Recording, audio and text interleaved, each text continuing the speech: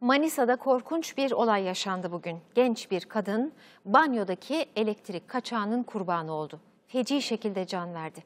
Üstelik henüz bir haftalık evliydi. Banyodaki elektrik kaçağı sonu oldu. Suyu açmasıyla akıma kapıldı. Genç kadın feci şekilde can verdi. Akıl almaz olay Manisa'da yaşandı. 18 yaşındaki Beste Parmaksız henüz bir hafta önce evlenmişti. Genç kadın evde yalnız olduğu sırada banyoya girdi. Eşi gün boyu onu aradı ama telefonları cevapsız kaldı. Genç adam soluğu hemen evde aldı. Korkunç manzarayla da o zaman karşılaştı.